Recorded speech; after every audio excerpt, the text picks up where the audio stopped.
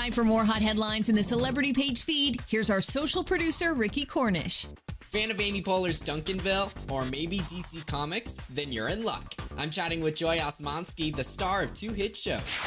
I can't believe I used to love you. Joy playing five-year-old Jing on Fox's animated hit. What I love about Jing is that she's she's kind of surrounded by chaos, but I do feel like she's sometimes the eye of the storm. And already renewed for season two, Duncanville airs Sundays on Fox. But that's not all. Joy also playing Tigress on Stargirl. And playing a supervillain is so much fun. She is motivated by something very pure, which is love for her family. Congrats on all the success, Joy. Stargirl airs Tuesdays on the CW, and you can catch more interviews on our website at celebritypage.com.